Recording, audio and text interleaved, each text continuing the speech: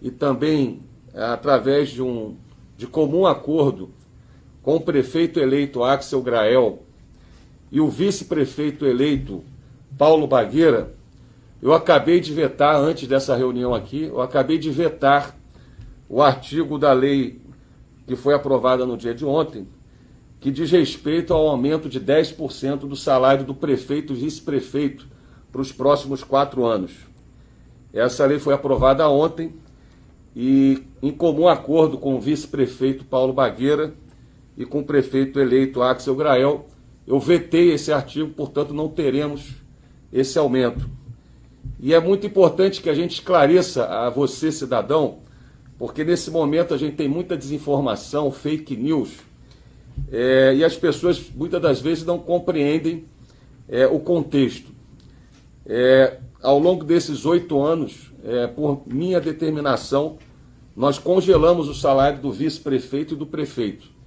É, Niterói foi praticamente a única cidade que manteve nesses oito anos o salário do prefeito e do vice-prefeito congelado, porque em 2013 eu assumi a prefeitura com mais de 400 milhões de dívidas em 2016, no segundo mandato,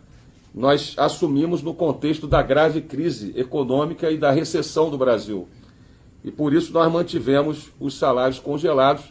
apenas com a correção da inflação anual. O impacto é, desse é, aumento de 10% que tinha sido aprovado no dia de ontem é um impacto inexpressivo para as contas públicas, cerca de 65 mil reais ao ano. Entretanto, mesmo eu entregando a prefeitura com 700 milhões de reais em caixa, evidentemente é, esse aumento, pela análise do Axel, do Paulo Bagueira e nossa aqui, é, ele tem um, efeito simbólico